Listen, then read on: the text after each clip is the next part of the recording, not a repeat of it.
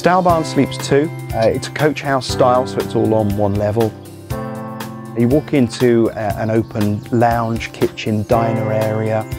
There's a leather sofa over by the back door, and then a kitchen made up of nice old pine units which have been painted and distressed, and then topped with thick oak worktops and lovely Belfast sink.